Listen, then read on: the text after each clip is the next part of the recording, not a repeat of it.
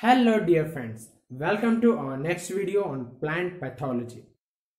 In previous classes we had dealt with the history concepts and others. Now we shall enter to the concept that is the bacteria. We shall begin it with the bacteria and before starting the topic I would request you please do follow my on my Instagram account and please do subscribe to this channel Manoj Patike and please click on the bell icon to get notified. Whenever I release the video you will be notified if you click on the bell icon and we shall begin it. First we shall know what is the importance of the bacteria in agriculture. See under plant pathology we come across many diseases. In some there is direct involvement of the bacteria and it is the main cause and in some there is an interrelationship. Some diseases are related to bacteria. There is bacteria fungi interrelation, nematode bacteria relations. There are many such things happens.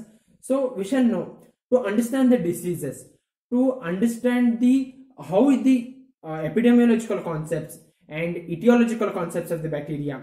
We should know how the bacteria is and what is the nature of the bacteria what is the characteristics what is its morphology.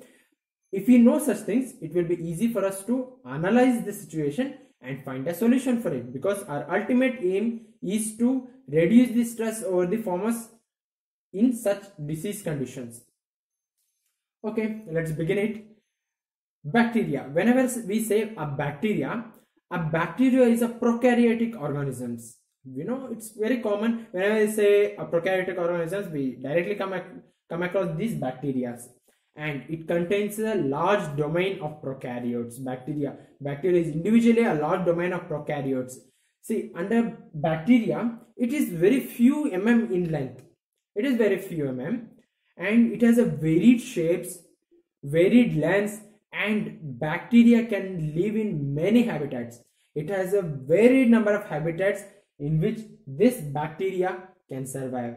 And as we know as it's a primitive organism it's a primitive organism so it is it was present when the life came into existence. That is what i said. Among the first life forms in the beginning of life forms bacteria were to appear at that time.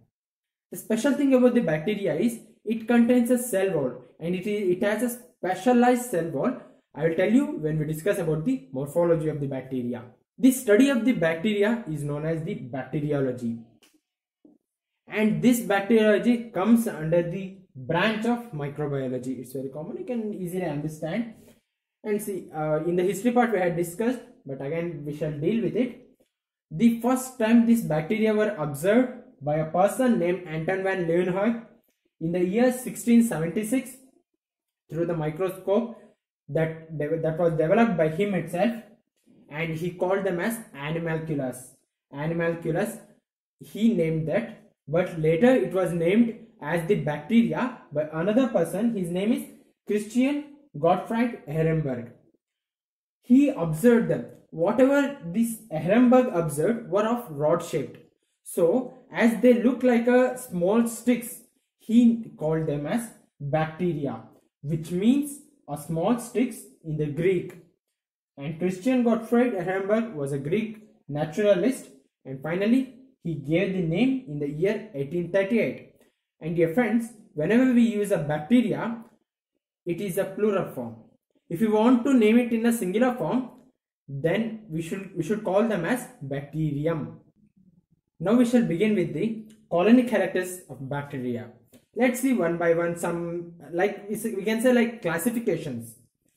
Okay based on the shapes under shapes of bacteria we can find a rod shaped bacteria for example xanthomonas bacillus vibrio. Vibrio cholera is an example and spherical spherical shaped bacteria and best example is a coccus then spiral shaped it will be a spiral like sorry, spirillum and L-form bacteria is a clavibacter. Actually, there is some important characteristics of L-form bacteria that I will deal it with the molecules when I when I discuss about the molecules.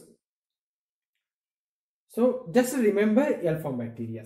That is example clavibacter because it is not the uh, permanent shape of this clavibacter. It is during some stage of the life it forms a clavibacter that it possesses a wall-less condition that is L form bacteria and based on the size spherical and rods some uh, some are very big and small some are small and mycoplasm and true bacteria. Mycoplasm is less than the size of the true bacteria.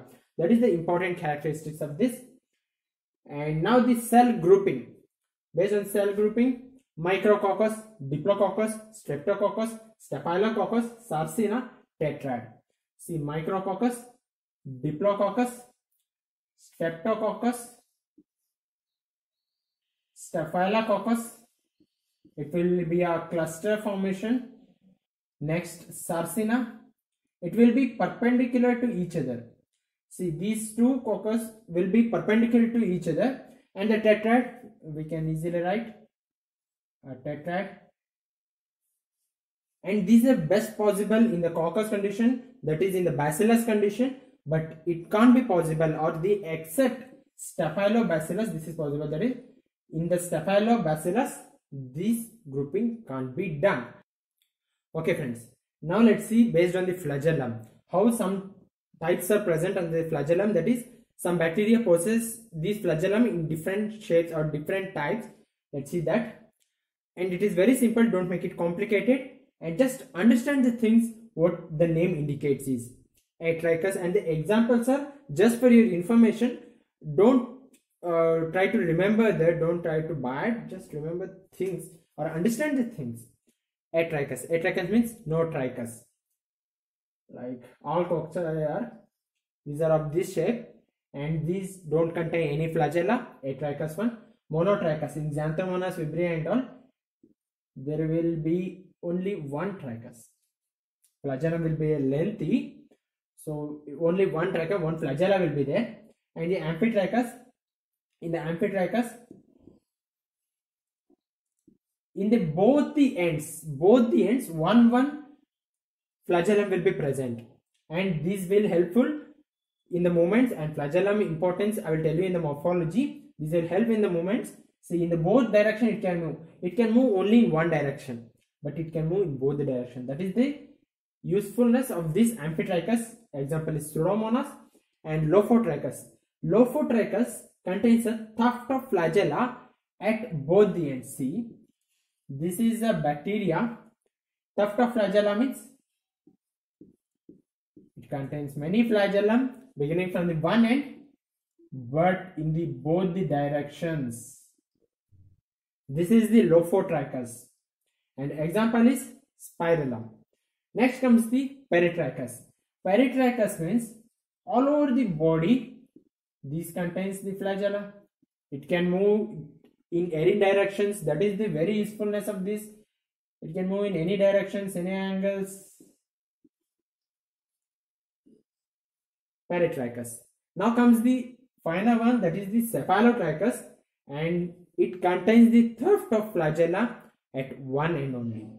See this is a bacteria and contains a tuft of flagella at one end only. It can move in one direction with more force.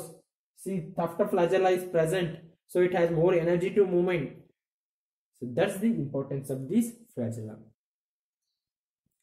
And thanks for watching this video. Please do share subscribe and support us and your feedbacks are very valuable for me. Thank you for watching the video